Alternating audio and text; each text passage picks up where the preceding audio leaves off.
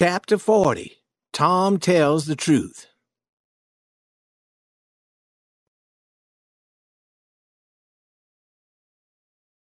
Uncle Silas went to town early the next morning before breakfast. No one had seen Tom.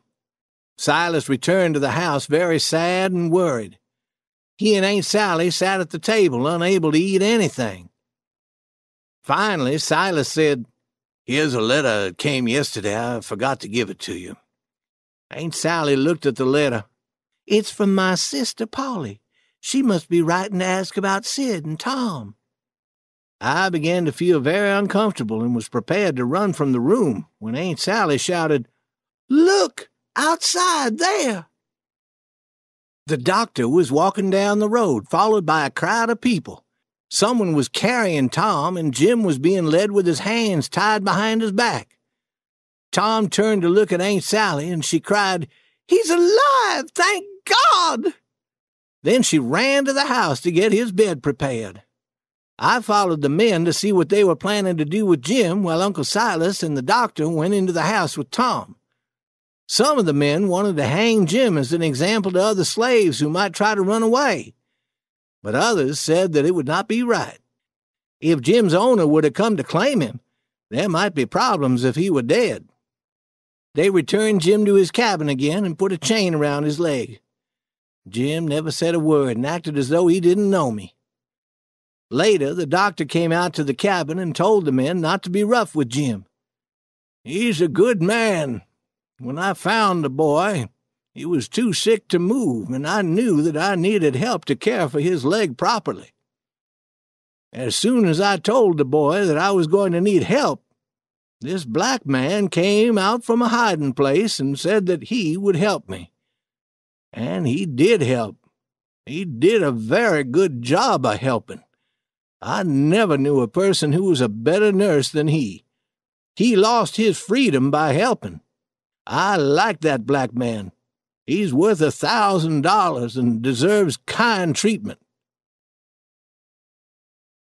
The men promised to treat Jim kindly, and all agreed that he was a good person.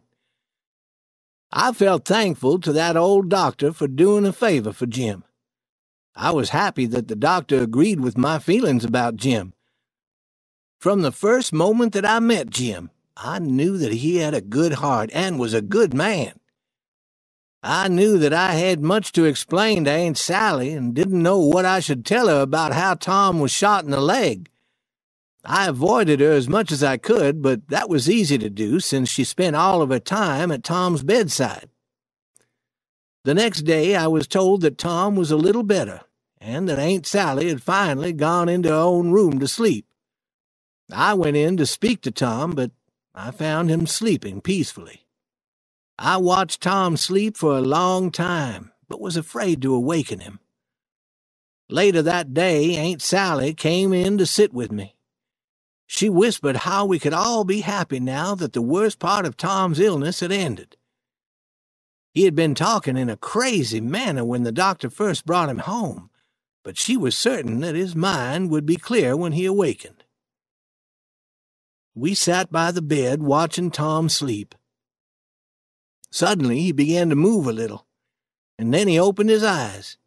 He looked around the room and said, Hello, I'm at home. Where's the raft? Everything's fine, I assured him. How's Jim? The same. I tried to sound like I was telling the truth, but my voice didn't sound natural. Tom didn't notice. Good, splendid. We're all safe. Did you tell Aunt Sally? I wanted to quiet Tom, but it was too late. Aunt Sally spoke. Tell Aunt Sally what, Sid? About the way the whole thing was done. What whole thing, Sid? There's only one whole thing. Did he tell you how we helped a runaway slave escape? What's he talking about? Is he talking crazy again? No, I'm not talking crazy. I know what I'm saying.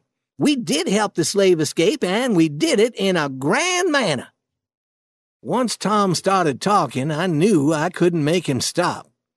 He told Aunt Sally everything about the weeks and weeks we spent planning and working and how we never slept at night, how we moved the grindstone and made the pins, about the snakes and the bugs and the rats, and finished by saying, You can't imagine what fun we had. I never heard such a story in all my life. I can't believe it was you two who have made all the trouble for us and frightened us nearly to death. You get all the enjoyment you can out of this now, but if I find you helping him again, helping who? Tom asked. The runaway slave. Certainly you know who I mean. Tom looked at me sadly and said, I thought you told me everything was fine. Is he on the raft? The runaway slave? No, he's locked in that cabin again, said Aunt Sally.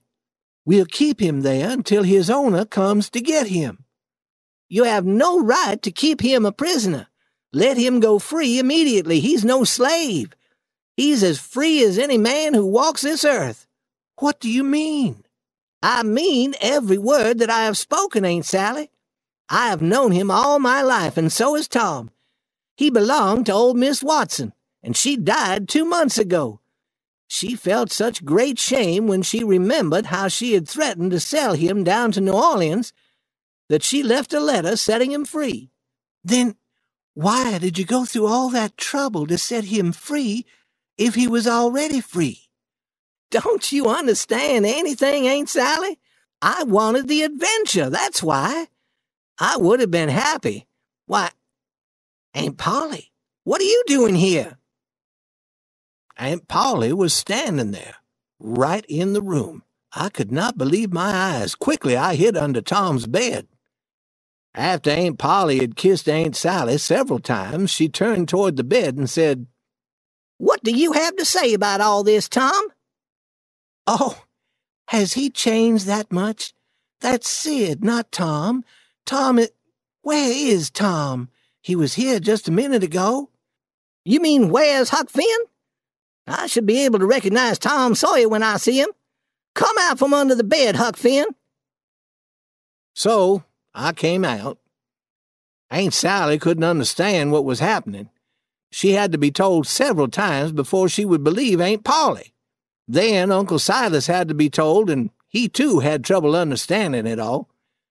I said that I had not planned to act as though I were Tom, but that when Aunt Sally assumed that that's who I was the very first day that she met me, I could never figure out how to tell her the truth. And when Tom Sawyer arrived, I knew that he would love the mystery and adventure, and he was happy to act as though he was Sid.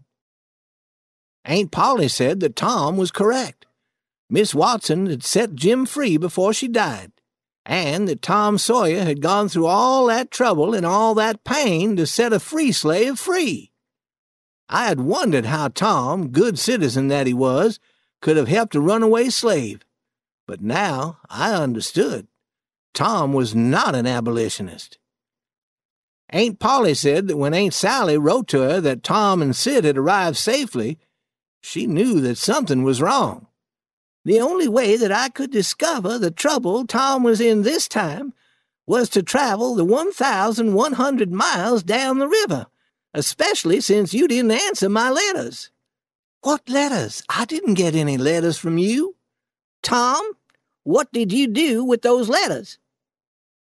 Tom looked very uncomfortable and said, They in my bag. I didn't open them and I haven't read any of them. I thought that you were in no hurry. Tom Sawyer, you need to be punished. But I wrote a third letter saying that I was coming. The letter is not here in Tom's bag. Oh, it came yesterday, but I never read it.